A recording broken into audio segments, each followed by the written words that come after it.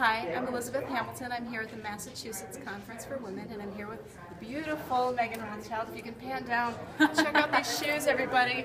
I've got boots on. I always wear cute shoes. I'm from my Maine. I'm from Maine, so we're in boots and snow, Yes. but those are cool.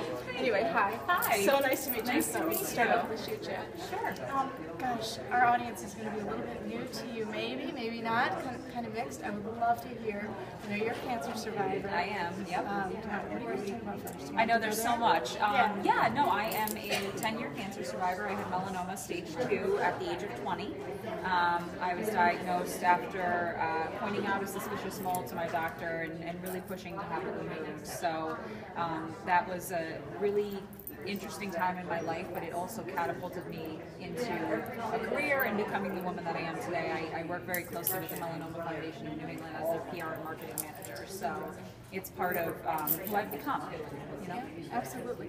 Do you tell us? Do you want to talk about just to help people out there with melanoma and so forth, um, spotting or detection, Sure. what to do, you know, what what those things look like. Absolutely. We hear a We- lot about it. Yeah, no, we always um, promote the ABCDEs, which are the warning signs of melanoma. And that stands for asymmetrical, B for border irregularity, C for color differentiation, D for diameter, and E for evolution. And basically, what I say to people is if you have any spots on your skin, you should probably be seeing a dermatologist once a year and they should be checking you out.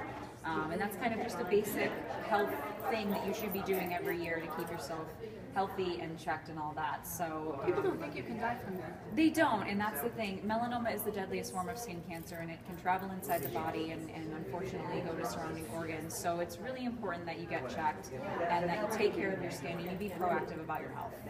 What are you here today to speak about? I am actually, so I also own a marketing and PR firm. Heard that. Uh, Chik Media. We focus on women-run organizations, um, and I am giving a uh, discussion on social media 101 and awesome. how to get organized, how to get started for those who maybe aren't really social media savvy. Um, I'm going to give a little um, overview on, on how you get started because it can be very overwhelming. give us some tips. Do you want to give us one or two? Because Yeah. everybody has that. I'm on social media all the time, and I'm known for boys, and like, get off.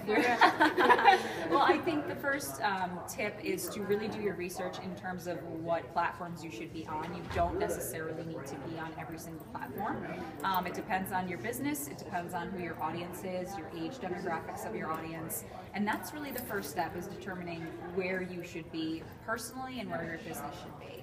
So I'd say that's where you get started. Yeah, and and like Snapchat. My kids are like, "Mom, join Snapchat." I'm like, "I think I could possibly be too old at 45 years old for Snapchat. I'm not I- sure." I- Snapchat is a- age matter?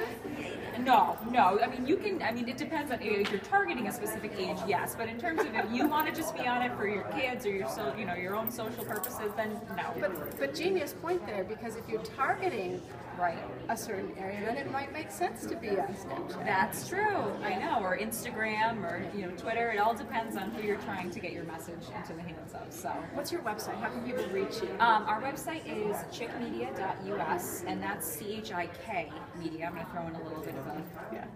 issue there. Um, but it's chikmedia.us, and that's how people can go on um, and learn about the marketing and PR firm. And if they have questions about the Melanoma Foundation, they can go to mfne.org. Did I miss anything in interviewing you today? No, you I think, I think we got it all. Are you from here? Are you from? I'm actually from the western part of the state, western Massachusetts. So, Awesome. Really nice to meet you. so Thank nice you to so meet much you. Thank time. you. I appreciate it. Yeah, awesome. Your feet are going to hurt later. Probably, yes. All right. Thanks.